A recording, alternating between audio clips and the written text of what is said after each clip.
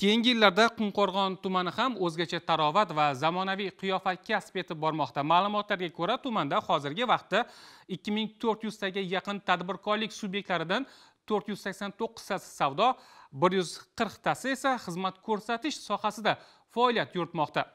O'tgan yili barpo etilgan 700 ta xizmat ko'rsatish shoxobchasining 418 tasi.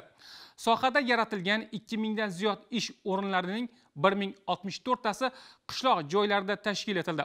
Mavzuni muxbirimiz davom ettiradi.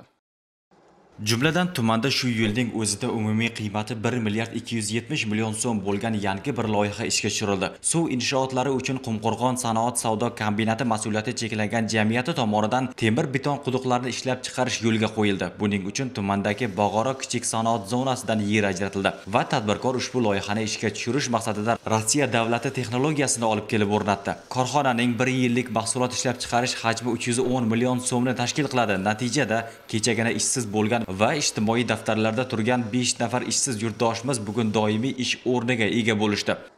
Bu yerda hozir ikki turdagi mahsulot ishlab chiqaryapmiz. Kuniga ishlab chiqarish quvvatimiz 50 dona e, mahsulot. Bir oyda 1 million 400 1 million 500 dona mahsulot ishlab chiqaryapmiz. O'zimizni tuman qolaversa viloyatga yetkazib berish imkoniyatimiz hozir mavjud. Bundan keyingi maqsadimiz endi yana shu beton mahsulotlarini ko'paytirish bunga endi e, bog'dorchilikda ishlatiladigan beton tayanchlar undan tashqari e, latoklar plitalar ishlab chiqarish rejamizda bor.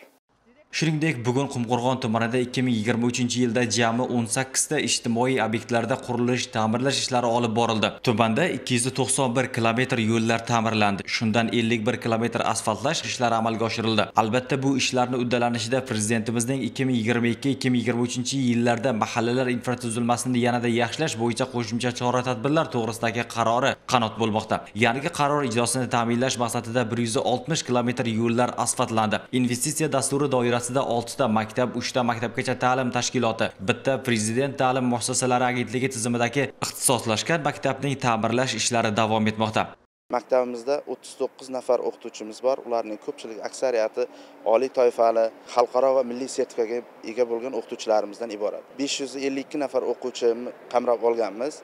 demak maktabimiz hozirgi kunda mana ko'ryapsizlar zamonaviy o'quv laboratoriyalari bilan to'liq ta'minlangan birinchi bosqichda maktabimizni asosiy binoni qurib bitkazishga topshirdi. E, keyingi e, bosqichdan e, faollar zali sport zalni mana shunday ta'mirlash ishlari amalga oshirilyapti. Maqsadimiz yoshlarga puxta bilim berish sifatli ta'lim berish kelajakda mamlakatimiz rivoji uchun yetuk kadrlarni yetkazib berishdan iborat. Raqamlarga tayanadigan bo'lsak, tuman hokimligi tomonidan berilgan ma'lumotga ko'ra hududda 778 ta xizmat ko'rsatish nuqtalari mavjud. Ularda 4668 nafar yurtdoshlarimiz mehnat qilishadi. Tumanda umumiy qiymati 1 trillion 100 million so'm bo'lgan 69 ta loyiha shakllantirilishi ko'zda tutilgan. Shundan sanoat e, yo'nalishida yigirma oltita loyiha qiymati 944 milliard so'mlik to'qqiz yuz yigirma oltita ish o'rni. Xizmat ko'rsatish sohasida yigirma to'qqizta loyiha 39 milliard 200 million so'mlik yuzta yangi ish o'rni. Qishloq xo'jaligi sohasida o'n to'rtta loyiha qiymati 48,1 milliard so'mlik yetmish sakkizta yangi ish o'rni yaratilishini belgilab olganmiz. Yana bir ma'lumot tumanni ijtimoiy iqtisodiy rivojlantirish dasturi bo'yicha 2024-2030 yillarda umumiy qiymati 9 trillion so'm bo'lgan 625 ta loyihani ishga tushirish rejalashtirilgan va natijada 10 ming nafar ishsiz yurtdoshlarimiz bandligi ta'minlanadi.